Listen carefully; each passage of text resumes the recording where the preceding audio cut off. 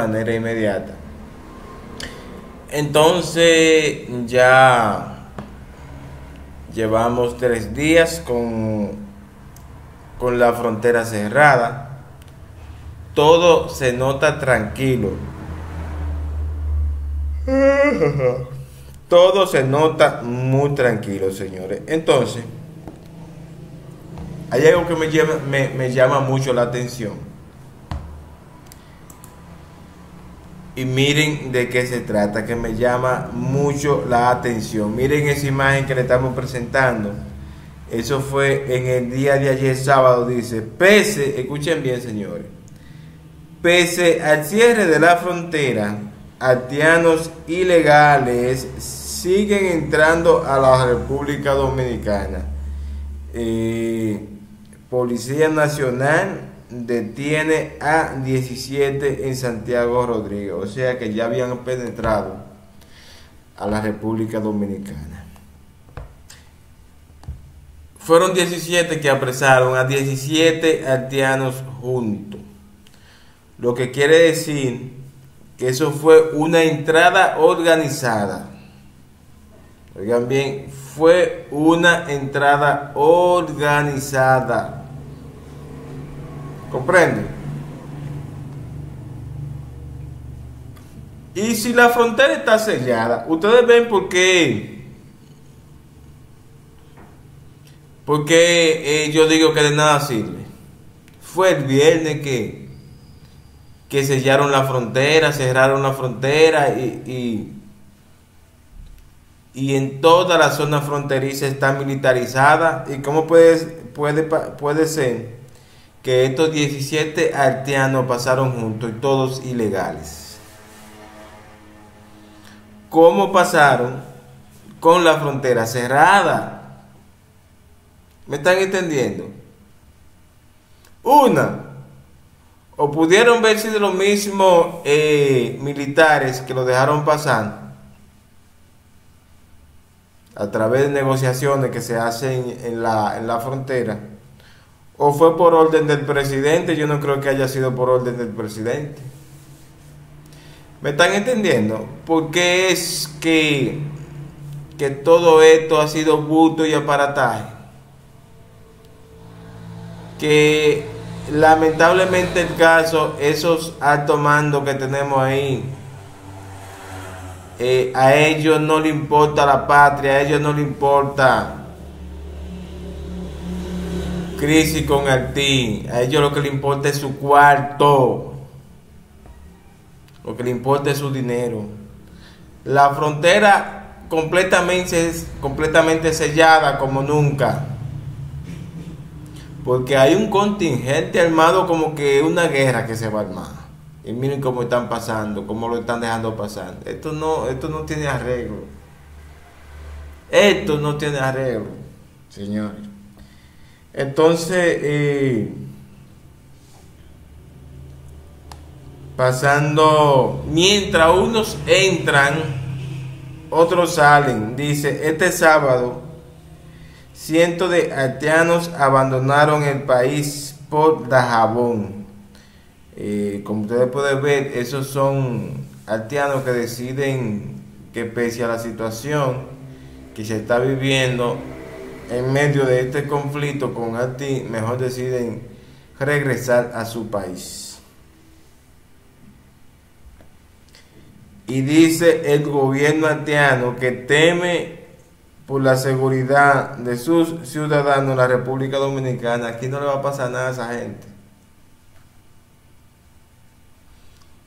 Aquí no le va a pasar nada a los haitianos a menos que sean ellos que inicien algunas situaciones de violencia. Aquí nosotros no somos igual que ellos. Los violentos son ellos.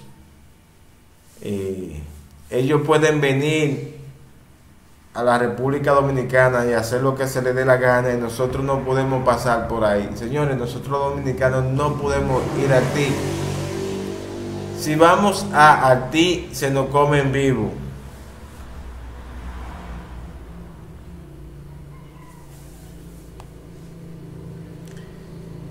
Este domingo marchan en Haití contra eh,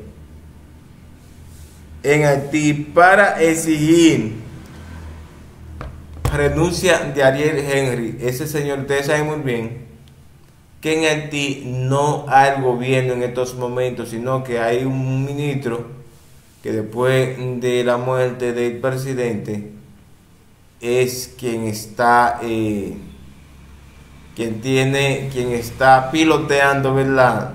la vecina país el vecino país y que no lo está haciendo bien dice que no tiene ningún poder cuando sí tiene y a sabienda de que el pueblo haitiano no quiere que él esté gobernando, eh, él también aspira a la presidencia, señores. Esas sillas se parece que son buenas. Esas sillas parece que son buenas. Por acá tenemos Claudio Joseph sobre el río Masacre, el presidente Luis Abinader Oigan bien, el presidente Luis Abinader está explotando políticamente el tema, muy cierto. Pero muy cierto, si, si esto fuera tan grave, si esto fuera tan grave no estuviera fuera del país, y el vino, tomó decisiones, cerró completamente, militarizó todo y se fue. Posiblemente llegue hoy en la noche o mañana. El ministro de Defensa también está fuera del país. Bueno, eso quiere decir que no hay ningún tipo de gravedad. Eh, entonces por acá dice que ya hay organismos eh, dentro de la República Dominicana que están en contra del cierre de la frontera. Eso no aguanta mucho, señor. Cerrado. Eso no aguanta mucho. Entonces, por acá, le voy a poner un video. Está construyendo este canal. Yo le voy a poner un video y quiero que presten mucha atención esto es algo real, esto no son cuentos, escuchen esto. Porque no es el gobierno haitiano quien está construyendo este canal. Esa persona cercana a usted, presidente Luis Abinader, fue muy probablemente quien le sugirió a usted que firmara esa carta que establecía que no habían daños a los derechos internacionales y a los derechos acuíferos de la República Dominicana con la construcción de ese canal es asesor de la presidencia y además también les quiere llevar el agua dominicana al pueblo haitiano. Hablar de represar ese río sería ya convertir este problema, que es simplemente un problema de derecho internacional, en un problema humanitario, por lo cual me sorprende también la solución que busca el presidente de la República a meses de las elecciones a sabiendas de que no puede inaugurar una obra seis meses antes de las elecciones según la ley.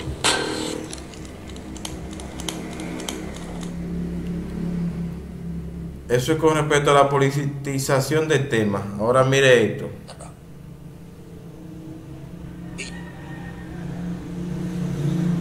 Esa frontera no aguanta una semana cerrada. Llévense de mí. Que todo eso es Eso no aguanta una semana cerrada y han provocado un problema serio. ¿Cuál es mi miedo? ¿Cuál es mi miedo? Porque yo sé que si no tuviéramos elecciones de, aquí, de este lado y de aquel lado, no se tratara ese tema así.